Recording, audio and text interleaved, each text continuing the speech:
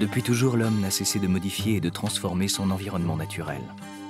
Dans le sud de la France, en Provence, la zone de l'étang de Berre et de Fos-sur-Mer en est un exemple.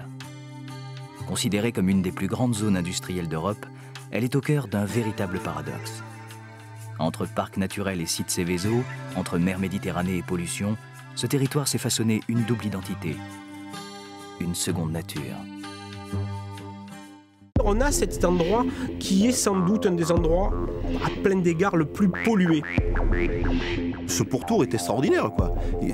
on peut faire des photos bien plus belles que sur la côte d'Azur. Hein. L'industrie est comme un furoncle, un anthrax sur le visage d'une jolie femme qui serait la Provence. Alors d'un côté, il y a les gentils, les parcs naturels, les zones sauvages, le Luberon, la Camargue. Et de notre côté, il y a les vilains, l'industrie, Fos-sur-Mer, Martigues, les usines. Certainement que ces grandes industries, on en a besoin.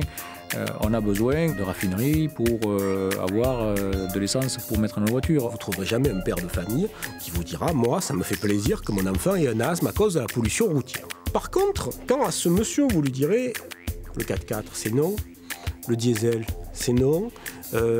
prendre la voiture pour le mener à l'école, ben c'est non. Quel prix on est prêt à payer pour avoir tout ce qu'on a?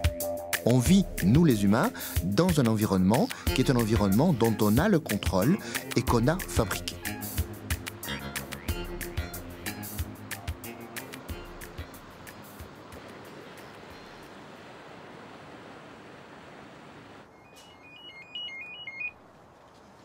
Vous commencez à lire les, consignes, hein vous commencez à lire le début.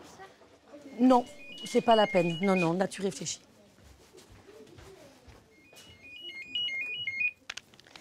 École René Perrin, bonjour.